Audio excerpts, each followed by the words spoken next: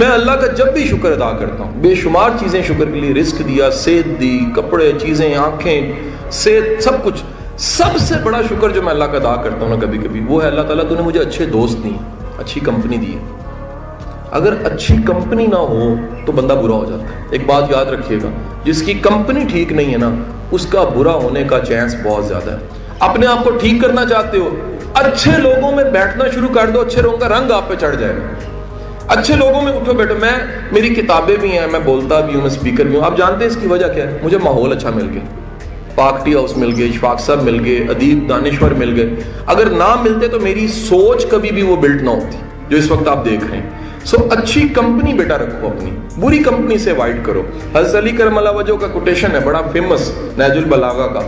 आप कहते हैं ऐसा शख्स जिससे दुनिया और आखिरत दोनों का कोई फ़ायदा नहीं वो दुश्मन है। भाई, जिससे ना दुनिया बनती है, ना आखिरत बेहतर होती है, वो दुश्मन है, वो दोस्त नहीं हो सकता। सो भाई, अपनी कंपनी खुद भी पॉजिटिव बनी है और पॉजिटिव लोगों में उठे बैठे पॉजिटिव लोगों से आपकी जो वो पर्सनैलिटी बिल्ड होती है।